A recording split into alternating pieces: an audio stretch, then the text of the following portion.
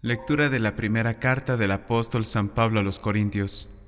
Os recuerdo, hermanos, el Evangelio que os proclamé y que vosotros aceptasteis, y en el que estáis fundados y que os está salvando, si es que conserváis el Evangelio que os proclamé, de lo contrario, se ha malogrado vuestra adhesión a la fe, porque lo primero que yo os transmití tal como lo había recibido fue esto, que Cristo murió por nuestros pecados, según las Escrituras, que fue sepultado y que resucitó al tercer día, según las Escrituras, que se le apareció a Cefas y más tarde a los doce.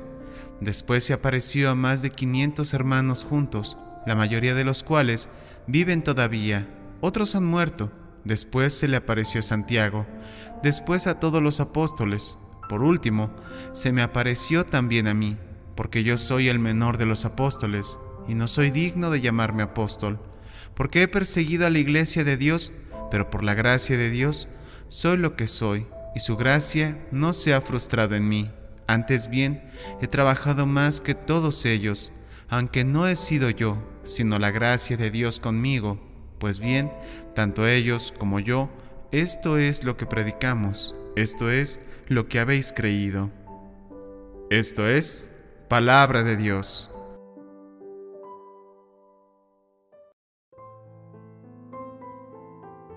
Dad gracias al Señor, porque es bueno. Dad gracias al Señor, porque es bueno, porque es eterna su misericordia. Diga la casa de Israel, eterna es su misericordia.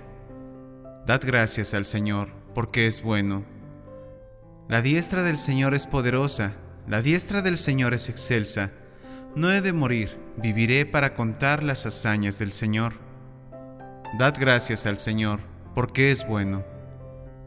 Tú eres mi Dios, te doy gracias, Dios mío, yo te ensalzo. Dad gracias al Señor, porque es bueno.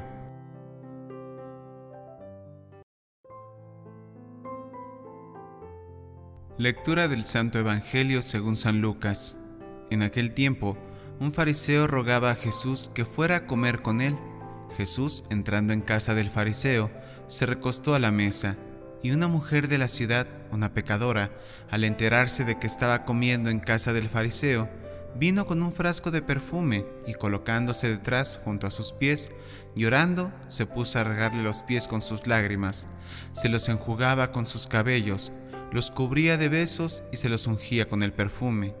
Al ver esto, el fariseo que lo había invitado se dijo, si este fuera profeta, sabría quién es esta mujer que lo está tocando y lo que es, una pecadora.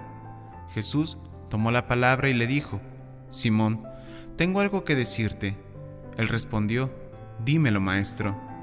Jesús le dijo, un prestamista tenía dos deudores, uno le debía 500 denarios y el otro 50. Como no tenían con qué pagar, los perdonó a los dos. ¿Cuál de los dos lo amará más?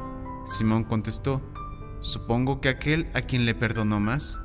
Jesús le dijo, Has juzgado rectamente. Y volviéndose a la mujer, dijo a Simón, ¿Ves a esta mujer? Cuando yo entré en tu casa, no me pusiste agua para los pies. Ella, en cambio, me ha lavado los pies con sus lágrimas y me los ha enjugado con su pelo. Tú no me besaste. Ella, en cambio, desde que entró, no ha dejado de besarme los pies. Tú no me ungiste la cabeza con ungüento. Ella, en cambio, me ha ungido los pies con perfume. Por eso te digo, sus muchos pecados están perdonados, porque tiene mucho amor. Pero al que poco se le perdona, poco ama. Y a ella le dijo, tus pecados están perdonados. Los demás convidados empezaron a decir entre sí, ¿quién es este que hasta perdona pecados? Pero Jesús dijo a la mujer, tu fe te ha salvado, vete en paz. Esto es palabra del Señor. Gloria a ti, Señor Jesús.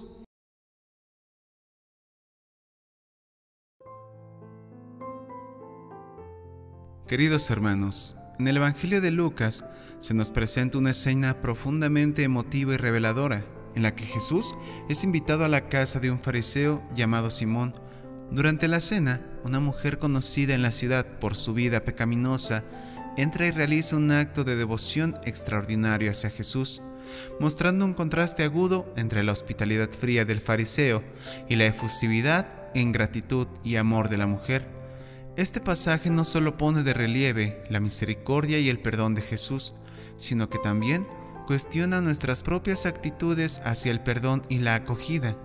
Jesús acepta la invitación de Simón el fariseo para comer en su casa, un gesto que en sí mismo demuestra la disposición de Jesús a dialogar y compartir con todos, sin importar su posición social o espiritual. Durante la cena, una mujer que había vivido una vida de pecado en la ciudad se acerca a Jesús por detrás, llorando y comienza a lavar sus pies con sus lágrimas, secándolos con su cabello, besándolos y ungiéndolos con perfume. Este acto de humildad y amor profundo contrasta marcadamente con la recepción que Jesús recibe de Simón, quien ni siquiera ofrece a Jesús las cortesías habituales, reservadas para los huéspedes. Este momento nos invita a reflexionar sobre cómo recibimos a Jesús en nuestras propias vidas. ¿Ofrecemos solo un lugar superficial en nuestras mesas o permitimos que su presencia penetre profundamente en nuestros corazones? Transformando nuestra manera de vivir y amar. Simón el fariseo se escandaliza interiormente por la acción de la mujer, dudando de Jesús por permitir que una pecadora lo tocara. Jesús responde con una parábola sobre dos deudores, uno que debía mucho y otro poco, ambos perdonados generosamente por su acreedor. Jesús pregunta a Simón, ¿cuál de los dos amará más al acreedor? A la que Simón contesta correctamente, responde que sería el que más debe. Jesús usa esta historia para enseñar sobre la gran gratitud y amor que proviene de recibir un gran perdón. Este segmento desafía nuestra comprensión del perdón. ¿Reconocemos la magnitud del perdón que se nos ha extendido? ¿Cómo ha moldeado este reconocimiento nuestro amor y gratitud hacia Dios y hacia los demás? Jesús entonces se dirige directamente a la mujer, señalando a Simón las muchas formas en que la mujer ha mostrado hospitalidad y amor, en contraste con la falta de cortesía de Simón. Jesús declara que sus pecados, que son muchos, han sido perdonados, porque ha mostrado mucho amor. Luego se dirige a la mujer y le dice directamente, tus pecados te son perdonados, tu fe te ha salvado, ve en paz. Este pasaje no solo resalta la capacidad del perdón para transformar y restaurar, sino también la relación entre fe, amor y perdón. La mujer muestra una fe extraordinaria que se manifiesta en un amor profundo y un reconocimiento sincero de su necesidad de perdón, lo que la lleva a la salvación y paz. Lucas nos desafía a examinar la calidad de nuestra hospitalidad espiritual y nuestro entendimiento del perdón nos invita a abrir nuestros corazones completamente a Jesús, permitiéndole transformar nuestras vidas con su amor y misericordia. Nos recuerda que el verdadero encuentro con Jesús no deja espacio para la complacencia o el juicio, sino que nos impulsa hacia una vida de profunda gratitud, amor desbordante y una fe que busca la paz y la restauración tanto para nosotros como para los demás. En la figura de esta mujer encontramos un modelo de cómo el amor y la fe pueden llevarnos a un encuentro genuino con la gracia redentora de Dios. Que la bendición de Dios quede con todos ustedes.